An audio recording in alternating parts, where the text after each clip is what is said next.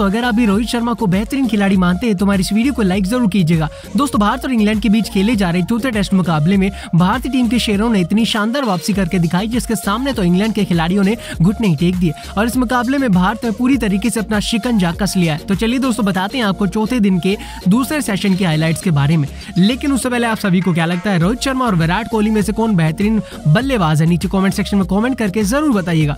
दोस्तों, भारत और इंग्लैंड के बीच खेले जा रहे दूसरे टेस्ट मुकाबले में अब तक भारतीय टीम के खिलाड़ियों ने अपने दमदार प्रदर्शन से इस मुकाबले में पूरी तरीके से अपना शिकंजा कसा हुआ है। पहले तो इन्होंने इंग्लैंड के बल्लेबाजों की नाक में दम कर दिया था और वहीं अब भारतीय टीम के बल्लेबाज एक एक करके इंग्लैंड के गेंदबाजों की पिटाई लगा रहे हैं। पहले तो भारतीय टीम के दोनों सलामी बल्लेबाज के राहुल और रोहित शर्मा ने अपनी तूफानी पारी से भारतीय टीम को इस मुकाबले की दूसरी पारी में बड़ी शानदार शुरुआत दिलाई। इन दोनों ने लगभग 80 से अधिक रनों की साझेदारी करी थी, जिसके बाद भारतीय टीम एक मज़बूत स्थिति में आकर खड़ी हो गई थी। दोनों ही बल्लेबाजों को एक शानदार शुरुआत मिल चुकी थी। लेकिन अफसोस के राहुल अपनी शानदार शुरुआत को एक बड़े स्कोर में तब्दील नहीं कर सके। लेकिन उनके साथ ही भारतीय टीम के सुपरस्टार बल्लेबाज रोहित शर्मा इस विकेट का कोई असर नहीं पड़ा उन पर। उन्होंने अपनी दमदार पारी को जारी रखते हुए इंग्लैंड के गेंदबाजों की जमकर धुलाई करी।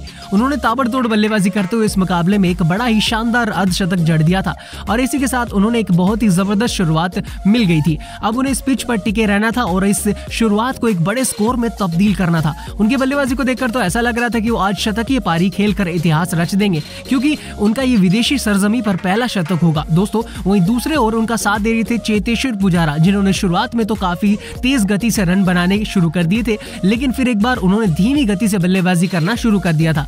वहीं कई बार कुछ गेंदों में फंसे हुए नज़र भी आ रहे थे। वो लगातार इंग्लैंड के गेंदबाजों के विरुद्ध संघर्ष कर रहे थे, लेकिन वो भी धीरे धीरे करके 40 रनों से अधिक बना चुके थे और उन्हें अब अर्धशतकीय पारी खेलनी थी। दोस्तों भारतीय टीम का स्कोर एक विकेट खोकर 180 के करीब है और दोनों ही बल्लेबाज काफ़ी शानदार बल्लेबाजी का प्रदर्शन कर रहे हैं। ये दोनों बल्लेबाज अगर इसी तरीके से बल्लेबाजी करते रहे तो दिन के अंत तक भारतीय टीम में काफ़ी ज़्यादा मज़बूत स्थिति में आकर खड़ी हो जाएगी। जिसके बाद इंग्लैंड की टीम इस मुकाबले में पूरी तरीके से पिछड़ जाएगी और भारतीय टीम का दबदबा पूरी तरीके से इंग्लैंड पर कायम हो जाएगा। अगर इन दोनों में से कोई बल्लेबाज आउट होता है तो भारतीय टीम के लिए ज़्यादा चिंताजनक बात नहीं होगी, क्योंकि अभी भी भारतीय टीम के कप्तान विराट कोहली उप कप्तान अजिंक्य राणे और ऋषभ पंत जैसे ताबड़तोड़ बल्लेबाज भी मौजूद है, जो की अपनी विस्फोटक बल्लेबाजी से विपक्षी टीम को जड़ से उखाड़ फेंकने की काबिलियत रखते हैं। लेकिन दोस्तों, आप सभी को क्या लगता है, क्या रोहित शर्मा इस मुकाबले में शतक शतकी पारी खेल सकेंगे या नहीं? नीचे कॉमेंट सेक्शन में कॉमेंट करके ज़रूर बताइएगा। और ऐसी खबरों के लिए हमारे यूट्यूब चैनल को ज़रूर सब्सक्राइब कीजिएगा।